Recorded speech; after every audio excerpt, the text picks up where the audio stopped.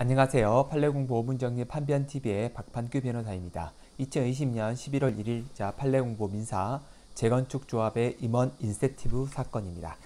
선고일은 2020년 9월 3일이고요. 사건 번호는 2017-218987 판결입니다. 판례공부 요인은 다음과 같고요. 영상 보시고 나서 궁금한 점 있으시면 판례공부 원문을 꼭 찾아보시기 바랍니다. 이 사건은 임시총회결의 무효 확인해소였고요. 원고는 이제 조합원들입니다. 피고는 재건축 조합이고요. 음, 당연히 이제 원고는 아마 그 조합 그 집행부하고 좀 약간 대, 음, 약간 의견이 다른 어떤 그 조합원들일 겁니다. 이분들이 이제 어, 원심에서 패소했다가 대법원에 올라왔는데 파기 환송된 사건입니다. 내용 보시죠. 사실관계 이렇습니다. 그 피고의 재건축 조합은 1977년 11월에 설립됐습니다. 그러니까 굉장히 오랫동안 재건축이 진행이 안 된 상태죠. 그러고 나서 2003년 6월에 가서야 설립 인가를 받습니다. 이제 그 조합이 그 전까지는 사실상 뭐 추진위원회 형태로만 계속 존재하다가 2003년 6월에 이제 설립 인가를 받습니다. 이제 2003년 6월에 설립 인가를 받았는데 그 뒤로도 한참 동안 지금 재건축이 추진이 안 되고 있는 상태였죠. 그 2013년 9월경 이사회에서 수익성 재고 방안 대의원 방안을 대의원에 상정하고 결의를 합니다. 그리고 나서 2013년 10월경에 이 대의원회가 이 수익성 재고 방안에 관한 이사의 그 안건을 부결함, 그러니까 반대합니다. 그렇게 그러면서 이제 이 대의원회하고 이사회가 이제 분리가 되니까 수습위원회가 이제 수습 구성이 됩니다. 그리고 나서 2013년 10월경에 수습위원회가 절충안을 제시를 합니다. 이 절충안의 내용을 가지고 이제 피고 조합에 재건축 조합의 그 총회 결의안으로 올립니다. 그 내용은 뭐냐면 손실이 발생할 경우에는 임원들이 10억 뭐 그다음에 뭐 5억 이 정도의 각각 그 등급에 따라서 어, 배상을 하게 된다.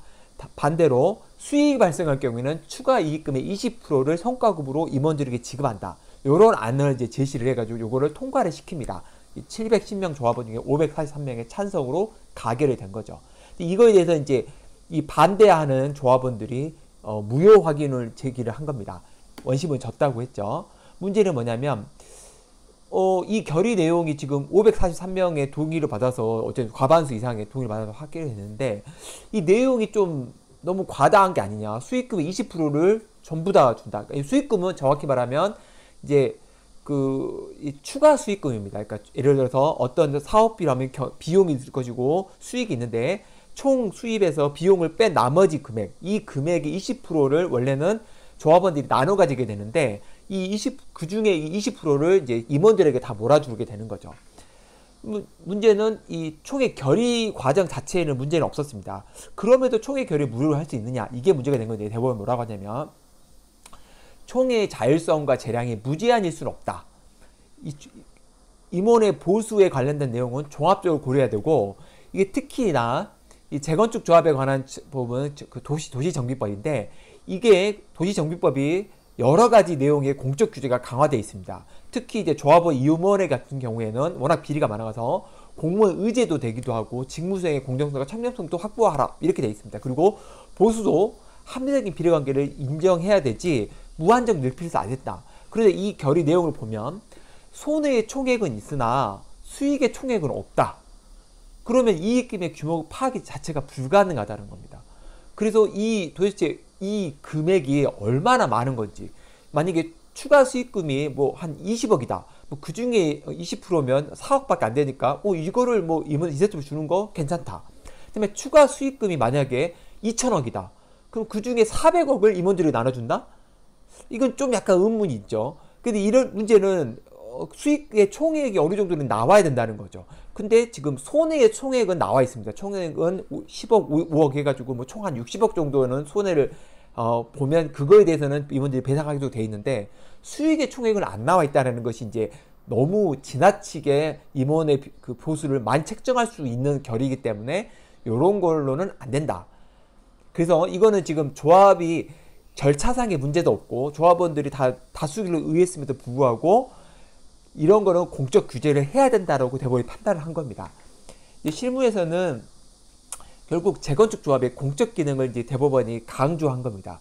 그래서 민사처럼 니네들 마음대로 해서 안 된다는 겁니다. 공적 기능이 있기 때문에 그거 또 하나는 이 조합의 총회 의결이 사실상 총회를 한 번 한다는 게 굉장히 어렵습니다. 조, 조합원의 입장에서 조합의 입장에서는 그렇기 때문에 이 조합이 한번 총회를 했을 때는 집행부 의사대로 결정되는 경우가 다수 많습니다. 조합원들이 이렇게 꼼꼼하게 다 보지를 못하는 거죠. 이런 이런 식의 어떤 의미가 뭔지도 정확히 알기 어렵기 때문에 따라서 이 조합이 의결이 됐다는 것만으로 해서 그 효력을 다 인정해 줄 수는 없다라는 게 이 대법원 판례의 취지입니다. 결국 조합원들의 후견 역할을 대법원이 하게 되는 거죠. 따라서 초, 총회 그러니까 집행부를 대리하는 변호사라면 이 총회 의결할 때 이런 점을 잘 강, 그 파악을 해야 됩니다. 그래서 어느 정도 규모도 정해주고 한계를 정해서 나중에라도 이런 것이 총회가 무효가 되지 않도록 미리미리 법률 검토를 해야 되는 거죠. 그리고 반대로 조합원 반대편 조합원을 대리하는 변호사가 있을 겁니다.